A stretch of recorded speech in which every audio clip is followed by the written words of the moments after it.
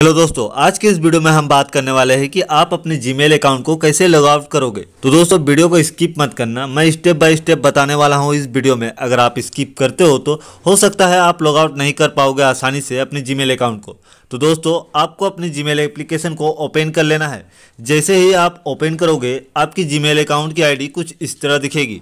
तो दोस्तों, आपको ऊपर थ्री लाइन दिख रहा है, उस पर आपको सिंपली क्लिक कर देना है। जैसे ही आप क्लिक करोगे, आपको बहुत सारे ऑप्शन देखने को मिलेंगे। तो आपको सिंपली स्क्रॉल डाउन करके नीचे की ओर जाना है तो एक ऑप्शन मिलेगा सेटिंग का। सिंपली उस पर आपको क्लिक कर देना है। तो दोस्तों, जैसे ही आप सेटिंग के ऊपर क्लिक करोगे तो एक नया पेज ओपन होगा आपके सामने, जैसे कि आप देख रहे हो। यहाँ आपको जनरल सेटिंग के नीचे सारे जीमेल अकाउंट देखने को मिलेंगे। तो आपको ऊपर की तरफ़ थ्री डॉट पर क्लिक करना है एंड यहाँ आपको दो ऑप्शन और मिलेंगे। तो आपको मैनेज अकाउंट वाले ऑप्शन पर सिंपली आपको क्लिक कर देना है। एंड जैसे ही आप क्लिक करोगे, एक नया पेज ओपन होगा फिर से।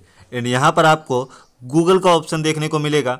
आपको उस पर क्लिक कर देना है सिंपली एंड जैसे ही गूगल वाले ऑप्शन पर आप क्लिक करोगे तो एक नया पेज ओपन हो जाएगा।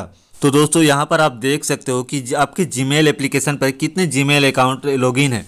और आप किसे लॉग आउट करना चाहते हैं तो उस पर आपको सिंपली सिलेक्ट करके उस पर क्लिक कर देना है।